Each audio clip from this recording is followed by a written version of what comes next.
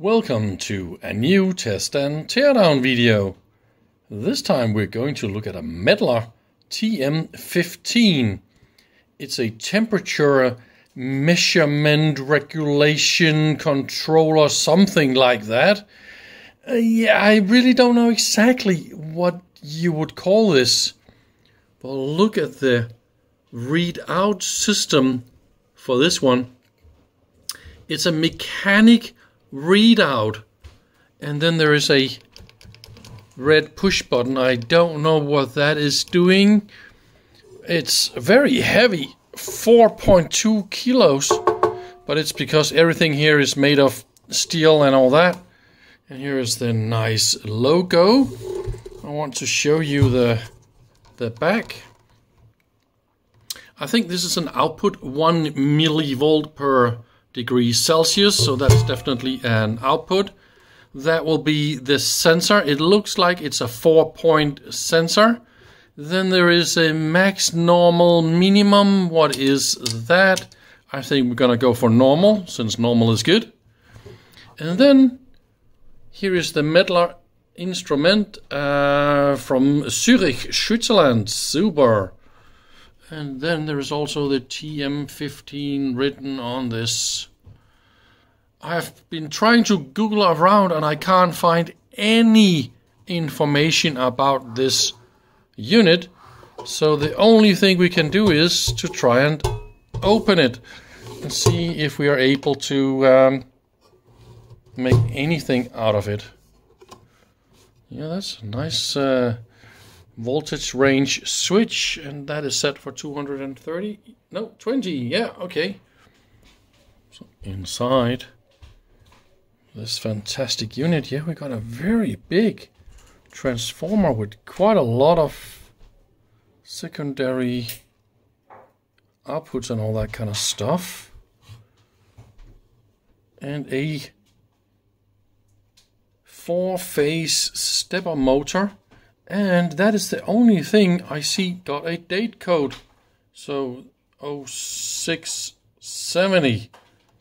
I've been after everything else and I don't find any date codes, but I think this is 1970.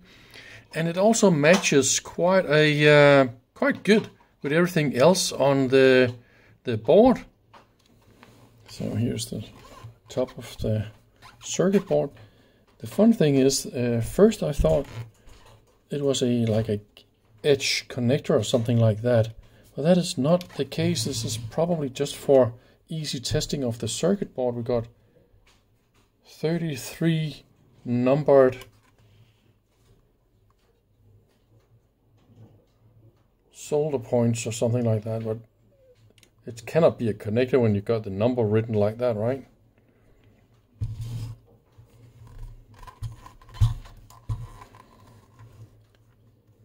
So we got, of course, some power supply stuff, and uh, yeah, some. I think all this gotta be power supply. It's quite a complex uh, power supply. So the four-phase motor, and we got four power transistors to drive the four phases. Look at that, some diodes, and the timing here. And I bet this is uh, another rectifier and one capacitor, probably we got some pulsed signals here as well, so it's probably mains frequency or maybe there's another oscillator somehow here maybe. And then it's flipping through the different phases of the motor, depending if it go needs to go uh, up or down. You know, if the temperature is too cold or too warm, then it will go up and down with the, uh, with the stepper motor until the potentiometers, you can see we got two really, really big high precision Bourns multi-turn uh, potentiometers. They're 500 ohms, and I bet one of them is driving the feedback system and the other one is driving the output connector, so you will get um, an output of 1 millivolt uh, per Celsius uh, output. You can see the different uh, gears down here and uh, both of those potentiometers they are connected together with the big wide nylon gears that will be the motor shaft going to the readout. And then that is the connector for the sensor. And I see four pins, but two and two are connected together like that. And then we got some high precision resistors connected to that and some trimmers that goes to the feedback system and then another measurement reference signal that figure out if you're over or under. So all we have to do is measure the resistance in this bridge because this is the missing resistor in the bridge, right? So by measuring this, we could uh, probably get a very good idea of what kind of sensor it is that we need. So here is, I don't know if, if this is visible, but I wanted to, oh, can I do this really? Like that. 100 and, okay, 150 ohms. And remember, this is a bridge where one of the resistors is missing. So my best guess is we need a 100 ohm resistor.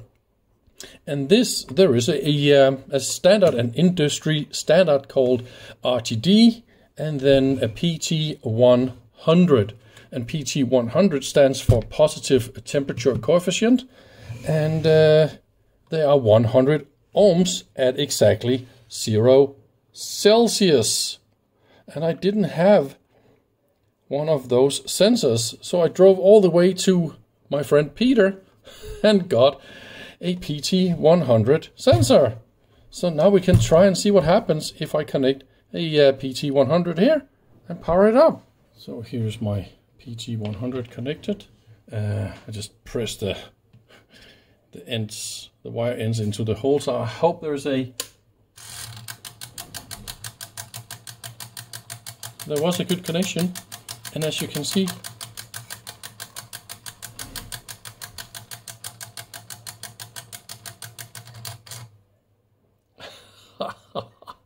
So this is the temperature. Happens if I touch this and warm it all up? Oh, you gotta be joking, man. Can you imagine this in 1970? So this is your tickety tickety tackety. This is just lovely, is it? So let's try something funny here. This is a glass of ice cubes and I I bet this is under zero, right? Oh my.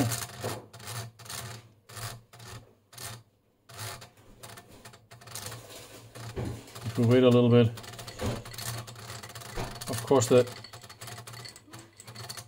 the water is about zero, right? But the ice is minus 20, we just took this out of the freezer. So I bet this is this is not that bad in the... This is just a very, very first, fast and not that scientific uh, test. But I think if we wait a little bit, it's probably going to go to zero. Oh, this is one.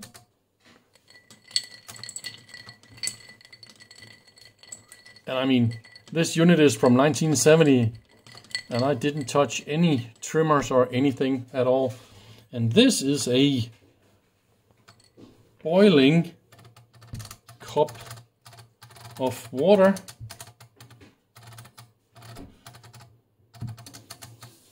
Maybe I should warm it up first a little bit like this so we don't shock the the sensor. It's probably not so healthy for the sensor to go straight from freezing to boiling. And also when you have a kettle of boiling water and you put it into a cold cup, I mean, the, the water's gonna be 95, 98 or something like that, right?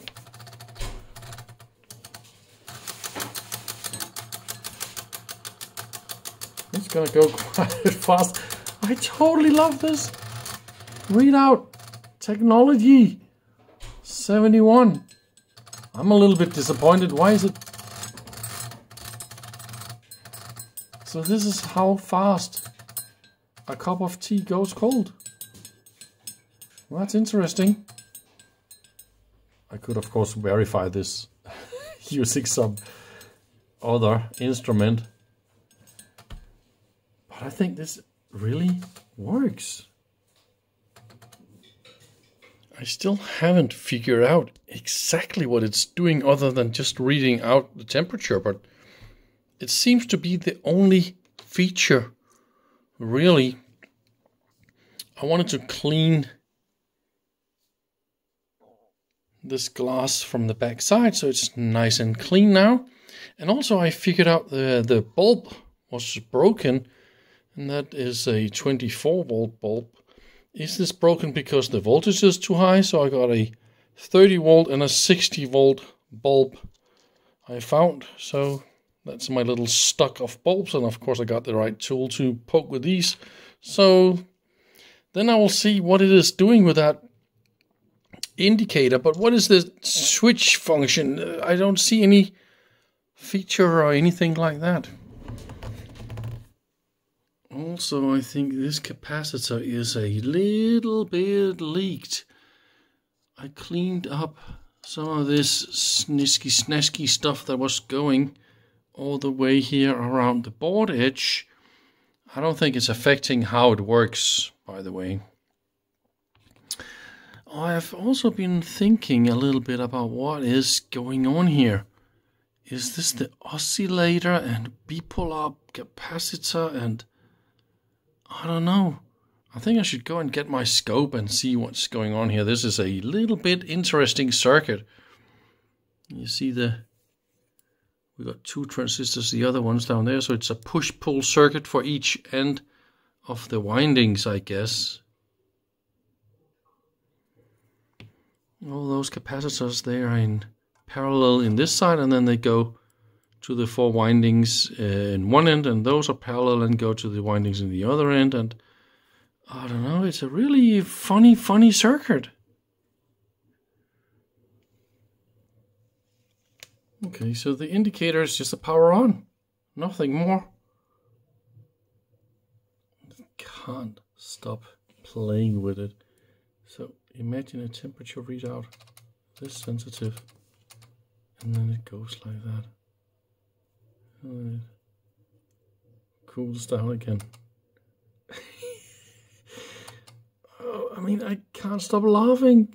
It's just amazing.